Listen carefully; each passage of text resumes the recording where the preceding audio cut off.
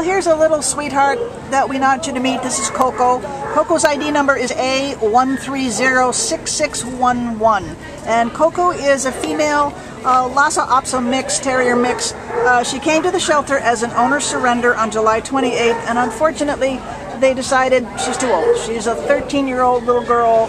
Uh, she's, you know, she's very overwhelmed here at the shelter. She's, but she's super sweet and loving. She needs somebody's help. If you've got it in your heart to come and help this little girl, she needs a nice, calm, comfortable place to live out her life she was a companion to somebody and they decided that they didn't want her companionship anymore. So maybe you do, because she is a darling. What, does, what else can you tell us about her? Well, she is, she's sweet. She's um, overwhelmed here. She, of course, might have been with a family all these years, yeah. and here she finds herself in quite a predicament at the shelter. Yeah. And, you know, as a senior dog, uh, there aren't very many people looking for senior dogs, so we're hoping that, you know, someone will find it in their heart to take her. She seems like she's healthy.